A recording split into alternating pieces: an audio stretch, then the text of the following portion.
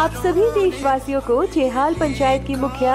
अंजू देवी की ओर से गणतंत्र दिवस की हार्दिक शुभकामनाएं